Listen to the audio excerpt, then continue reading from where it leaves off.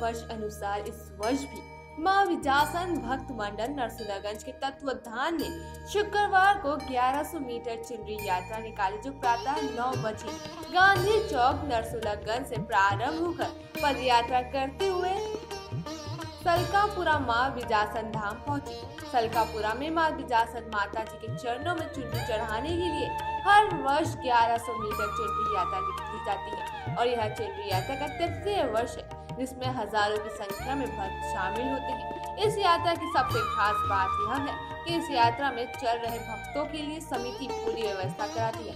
फिर चाहे वह फरियाली की हो, पानी की हो या मेडिकल उपचार की बात करें, वहीं इस यात्रा में महिलाओं के लिए अलग से व्यवस्थाएँ भी की जाती है। जिसमें उन्हें किसी भी प्रकार की परेशानी का सामना नहीं करना पड़ता। यात्रा में जा रहे भक्तों के लिए लौटने के लिए भी समिति की ओर से ही खुशी ट्रैवल बस की निःशुल्क सेवा रहती है, जो भक्तों के, उनके तय समय पर छोड़ देती है। नरसुल्लागंज से फिरोज खान की रिपोर्ट।